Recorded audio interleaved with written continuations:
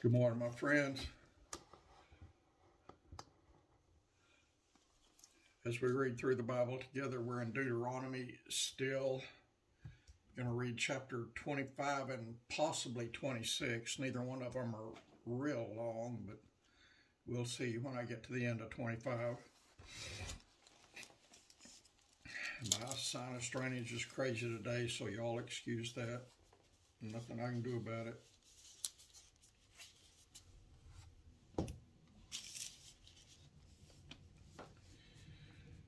If there be a controversy between men, and they come unto judgment, that the judges may judge them, then they shall justify the righteous and condemn the wicked. Don't see that happening today, do you? Not in America, anyway. Just the opposite happening.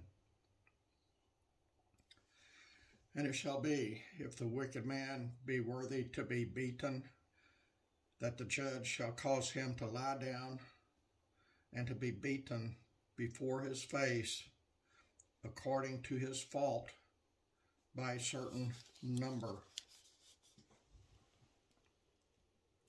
Forty stripes he may give him and not exceed, lest if he should exceed and beat him above these with many stripes, then thy brother should seem vile unto thee. Thou shalt not muzzle the ox when he breadeth out, when he treadeth out the corn. If brethren dwell together, and one of them die, and have no child, the wife of the dead shall not marry without unto a stranger. Her husband's brother shall go in unto her and take her to him to wife and perform the duty of a husband's brother unto her. And it shall be that the firstborn which she beareth shall succeed in the name of his brother which is dead, that his name be not put out of Israel.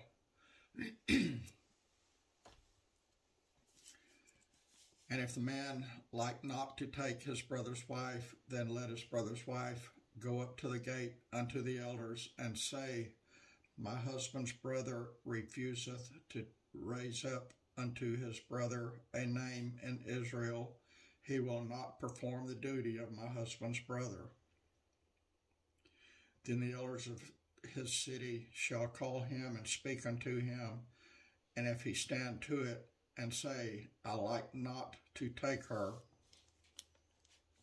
Then shall his brother's wife come unto him in the presence of the elders and loose his shoe from off his foot and spit in his face and shall answer and say, So shall it be done unto that man that will not build up his brother's house. And his name shall be called in Israel the house of him that hath his shoe loosed. When men strive together one with another, and the wife of the one draweth near for to de deliver her husband out of the hand of him that smiteth him, and putteth forth her hand, and taketh him by the secrets, then thou shalt cut off her hand, thine eye shall not pity her. Thou shalt not have in thy bag divers weights, a great and a small. Thou shalt not have in thine house divers measures, a great and a small. But thou shalt have a perfect and just weight, a perfect and just measure shalt thou have, that thy days may be lengthened in the land which the Lord thy God giveth thee. For all that do such things, and all that do unrighteously, are an abomination unto the Lord thy God. Remember what Amalek did unto thee by the way when ye were come forth out of Egypt, how he went how he met thee by the way, and smote the hindmost of thee, even all that were feeble behind thee, when thou wast faint and weary, and he feared not God. Therefore it shall be, when the Lord thy God hath given thee rest from all thine enemies round about, and the land which the Lord thy God giveth thee for an inheritance to possess it, that thou shalt blot out the remembrance of Amalek from under heaven. Thou shalt not forget it. That's the end of chapter 25.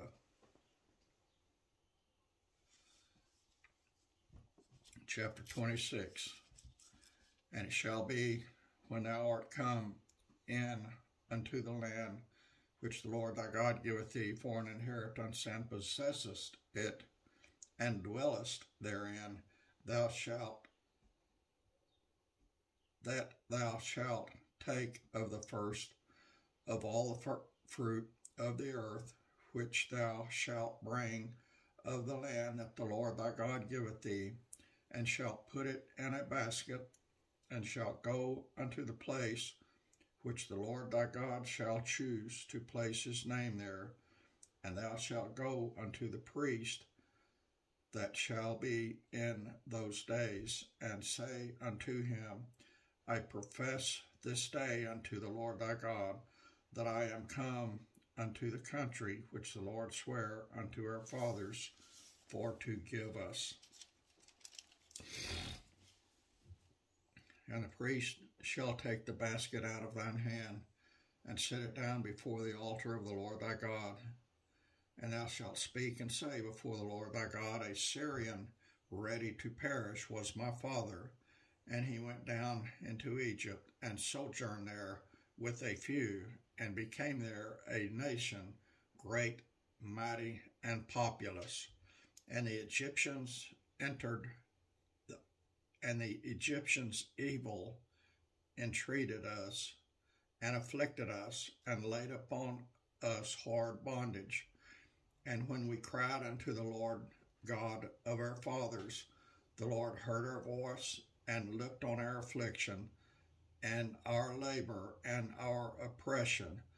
and the Lord brought us forth out of Egypt with a mighty hand and with an outstretched arm and with great terribleness and with signs and with wonders, and he hath brought us into this place, and hath given us this land, even a land that floweth with milk and honey. And now behold, I have brought the firstfruits of the land which thou, O Lord, hast given me, and thou shalt set it before the Lord thy God, and worship before the Lord thy God and thou shalt rejoice in every good thing which the Lord thy God hath given unto thee, and unto thine house, thou and the Levite and the stranger that is among you.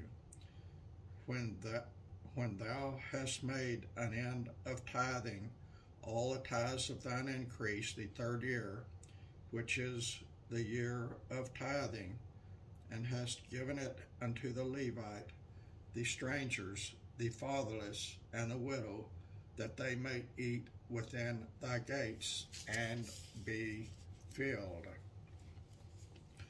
Then thou shalt say before the Lord thy God, I have brought away the hallowed things out of my house, and also have given them unto the Levite and unto the stranger, to the fatherless and to the widow, according to all thy commandments which thou hast commanded me.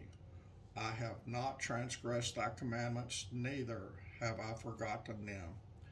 I have not eaten thereof in my mourning, neither have I taken away aught thereof for any unclean use, nor given aught thereof for the dead. But I have hearkened to the voice of the Lord my God, and have done according to all that thou hast commanded me.